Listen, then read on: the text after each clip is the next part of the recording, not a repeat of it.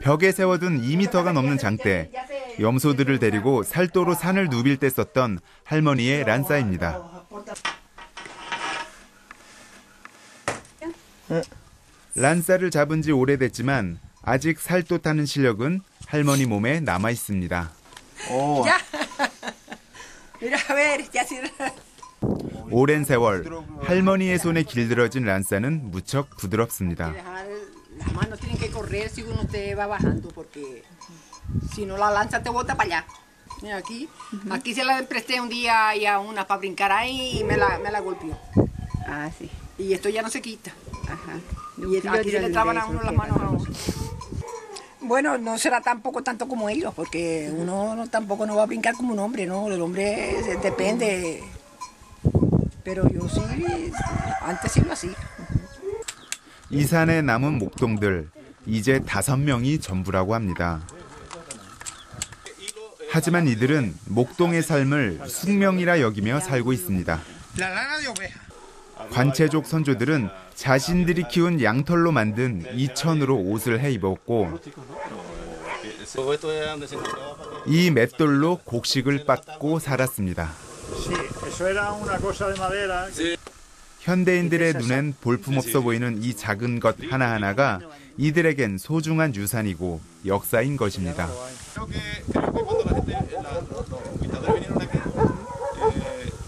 Eh. 양치기의 전통 또한 마찬가지였습니다. 그 전통은 28살의 젊은 목동이 잊고 있었습니다.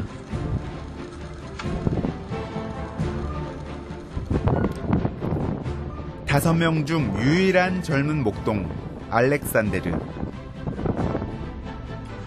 그는 마리아 할머니로부터 양치기 기술을 전수받고 있습니다. 이제 테누알토에 온 지 2년이 채 안 되었지만 란싸를 다루는 모습에서 그 옛날 목동들의 자유로움이 느껴집니다.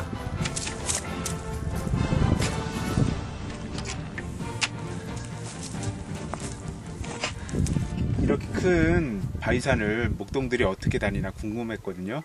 근데 그걸 하는 거 보니까 느낌이 확 옵니다.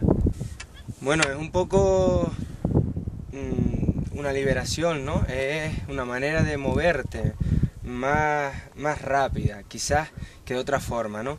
Y evidentemente donde puede llegar o puede usted llegar con la lanza, no va a llegar a pie. Entonces para nosotros que nos movemos en terrenos muy abruptos, es muy importante el tema de la lanza. 지금은 카나리아의 염소들이 새끼를 낳는 시기입니다. 그러다 보니 알렉산데르는 산 위의 염소에게만 신경을 쏟을 수가 없습니다. 50번째 새끼 염소를 기다리고 있기 때문입니다. 5개월 동안 그토록 기다리던 새끼를 자기 손으로 직접 받은 알렉산데르.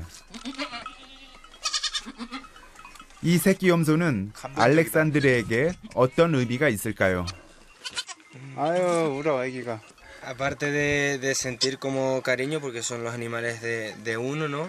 Es también parte del negocio, es parte del sustento de nosotros. Entonces es muy importante que el ganado, atender el ganado para poderle sacar el fruto, porque 알렉산데르는 날 때부터 목동은 아니었습니다.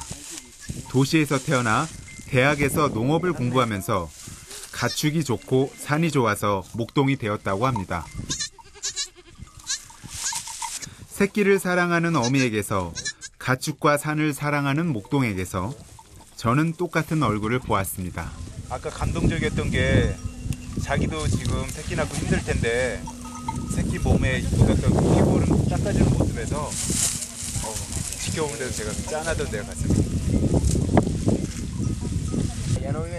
ya no viven en campo. 고생했어 새끼 낳느라고.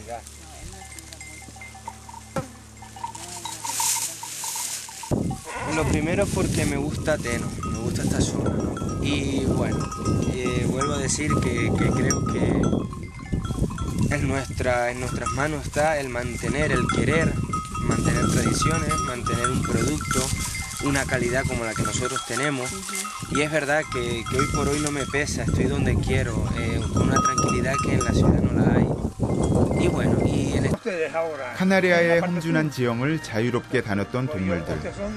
어쩌면 그 옛날 카나리아의 목동들은 동물들에게만 허락된 계곡 저 너머의 세계를 꿈꾸며 란사를 만들었던 것은 아닐까 생각하게 됐습니다.